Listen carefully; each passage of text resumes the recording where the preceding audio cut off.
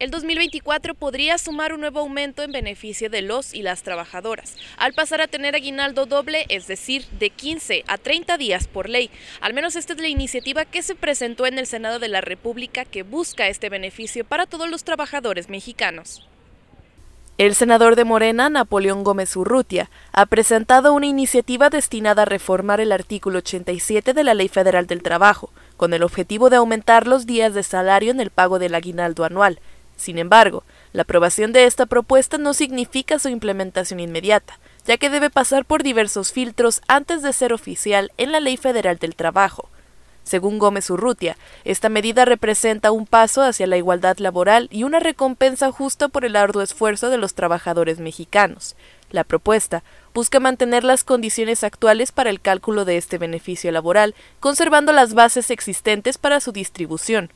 En México, el aguinaldo es una prestación obligatoria establecida desde 1970 y constituye un derecho de todos y todas las trabajadoras independientemente de su tipo de contrato o posición laboral. Esta bonificación se abona antes del 20 de diciembre de cada año, calculándose con base al salario neto después de deducciones como el ISR, cuotas del IMSS, ahorros Infonavit, entre otros. No se dio a conocer la fecha para que se resuelva esta iniciativa. Sin embargo, se espera que en las próximas semanas el Senado publique una fecha para discutir el proyecto de reforma.